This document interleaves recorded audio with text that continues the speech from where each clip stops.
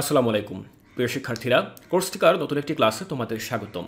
আজকের ক্লাসে আমি আলোচনা করব তোমাদের ডিজিটাল প্রযুক্তি মূল বইয়ের শিক্ষণ অভিজ্ঞতা আর্টের সেশন পাঁচ নিয়ে।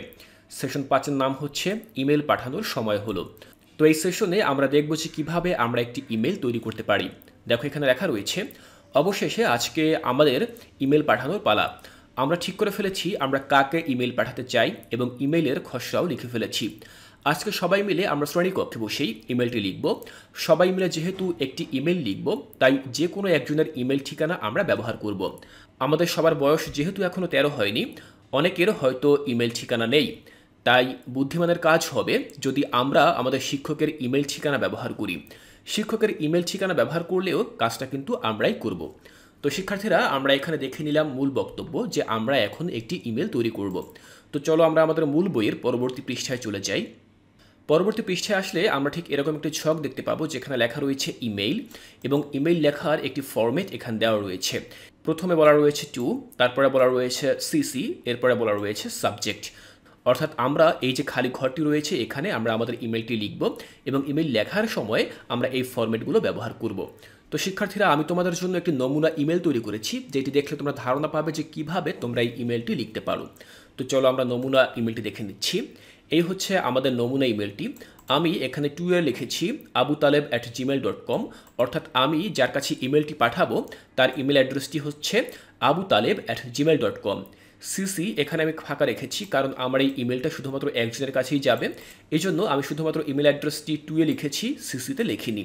তোমাদের এই একই ইমেল যদি অন্য ব্যক্তির কাছেও যায়, সেক্ষেত্রে তুমি সেক্ষেত্রে তুমি সিসির এই সামনেও তোমার সেই ইমেল অ্যাড্রেসগুলো লিখতে পারো। এরপরে আমরা দেখে নেব সাবজেক্ট অর্থাৎ আমরা কোন বিষয়টির উপরে এই ইমেলটি লিখতে যাচ্ছি।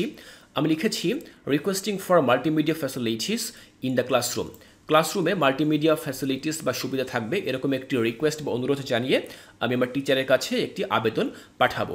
তো এটি হচ্ছে আমার সমস্যা এবং এই সমস্যাটি নিয়েই আমি আমার শিক্ষকের কাছে কি করব, চিঠি লিখব বা ইমেইল লিখব। তো চলো আমরা আমাদের ইমেলের মূল বক্তব্যে চলে যাই।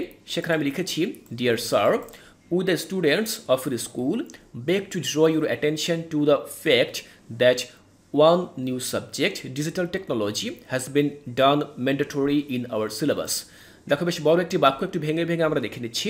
বলা হয়েছে with students of your school আমরা আপনার বিদ্যালয়ের ছাত্রছাত্রী beg to draw your attention to the fact একটি নির্দিষ্ট বিষয়ের প্রতি আপনার অ্যাটেনশন বা মনোযোগ আকর্ষণ করতে চাই এবং সেটি কি? that one new subject, digital technology, has been done mandatory in our syllabus. আমাদের সিলেবাসে বা আমাদের পাঠ্যসূচিতে ডিজিটাল টেকনোলজি বা ডিজিটাল প্রযুক্তি নামে নতুন একটি সাবজেক্ট ম্যান্ডেটরি বা বাধ্যতামূলক করা হয়েছে। So we need a classroom where there will be availability of computer internet connection and other digital systems এখানে বলা হয়েছে, সুতরাং সুতরাং আমাদের এমন একটি ক্লাসরুম প্রয়োজন বা এমন একটি শ্রেণীকক্ষ প্রয়োজন যেখানে কম্পিউটার, ইন্টারনেট সংযোগ এবং অন্যান্য যে সকল প্রযুক্তিগত সুবিধা রয়েছে সেগুলো সহজলভ্য থাকবে। You know that the present age is the age of computer and technology আপনি জানেন যে বর্তমান যে যুগ, এই যুগটি হচ্ছে কম্পিউটার এবং প্রযুক্তির যুগ।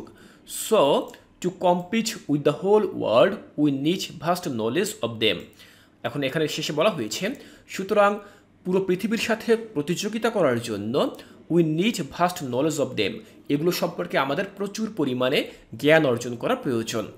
We therefore hope that you would be kind enough to take proper steps to provide multimedia facilities in our classroom to enrich our knowledge and oblige thereby সুতরাং আমরা আশা করছি যে আপনি এই বিষয়ে যথেষ্ট দয়ালু হবেন এবং প্রপার স্টেপ বা যথাযথ পদক্ষেপ নেবেন যাতে করে আমরা মাল্টিমিডিয়া ক্লাসরুমের যে সকল ফ্যাসিলিটিস বা সুবিধাগুলো রয়েছে, সেগুলো আমরা পাই। তো সিনসিয়ারলি ইয়োর্স বিলাল হোসেন লিখে দিয়েছি ক্লাস সেভেন রোল নাম্বার পাঁচ। তো এগুলো আমরা লিখে দিয়েছি। অর্থাৎ মূলত একটি চিঠি বা অ্যাপ্লিকেশন আমরা যেভাবে লিখি, আমাদের ইমেইলের মূল বক্তব্যটুকুও কিন্তু সেরকমই হবে। শুধুমাত্র উপরে যে সকল ফর্মালিটিগুলো রয়েছে, সেগুলো আমরা ইমেইলের মতো করে লিখব। তো শিক্ষার্থীরা একটি বিষয় খেয়াল করো, এখানে আমি কিন্তু ইংরেজিতে একটি ইমেল লিখেছি। তবে তুমি যে শুধুমাত্র ইংরেজিতে ইমেল লিখতে পারবে, বিষয়টা কিন্তু এমন না। তুমি কিন্তু চাইলে বাংলা ভাষায়ও ইমেল লিখতে পারো। আমি এই ইমেলটি কিন্তু এখানে দেখো, বাংলায় অনুবাদ করে দিয়েছি। যেমনটি আমি তোমাদেরকে বাংলায় লাইন বাই লাইন পড়ে শুনিয়েছি, ঠিক ঠিক সেটাই এখানে বাংলায় অনুবাদ করে লেখা রয়েছে। তোমরা এটি দেখতে পারো এবং এটি দেখে তোমরা এটিও কিন্তু তোমাদের মূল বইয়ের এই যে ফাঁকা জায়গাটুকু রয়েছে, এখানে লিখতে পারো। তাহলে শিক্ষার্থীরা, আমি আশা করছি তোমরা বুঝতে পেরেছ যে কীভাবে তোমরা যে কোনো একটি সমস্যা নিয়ে তোমার শিক্ষকের কাছে ইমেল পাঠাতে পারো। তো আমাদের শিক্ষণ অভিজ্ঞতা আট এই ক্লাসের মধ্য দিয়ে শেষ হয়ে গেল। এর পরবর্তী ক্লাসে আমরা চলে যাব আমাদের মূল বই থেকে, শিক্ষণ অভিজ্ঞতা নয়ে। আমাদের শিক্ষণ অভিজ্ঞতা নয়ের নাম হচ্ছে আঞ্চলিক বৈচিত্র্যপত্র এবং সেখানে আমরা দেখে নেব সেশন এক, বৈচিত্র্যর সৌন্দর্য। তো এই যে শিক্ষণ অভিজ্ঞতা নয় রয়েছে, এখানে যে সকল অনুশীলনীমূলক কাজ থাকবে, সেগুলো আমি এর পরবর্তী ক্লাসে তোমাদেরকে দেখিয়ে দেবো। তাই এর পরবর্তী ক্লাসটি দেখার আমন্ত্রণ জানিয়ে আজকের ক্লাসটি এখানেই শেষ করছি।